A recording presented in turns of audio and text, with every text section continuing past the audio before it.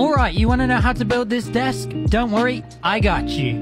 It's time to go on a trip to everybody's favorite furniture store, IKEA. So first off for the desktop, we've got this Ekbacken laminate kitchen worktop in white, which is 55 pounds, two and a half meters and extremely durable. Then you're going to want to pick up two of these Alex drawers, which not only are they great for storage, but they look absolutely beautiful. And for the final touch, add these desk risers from Amazon, which are great for routing all your cable management and RGB.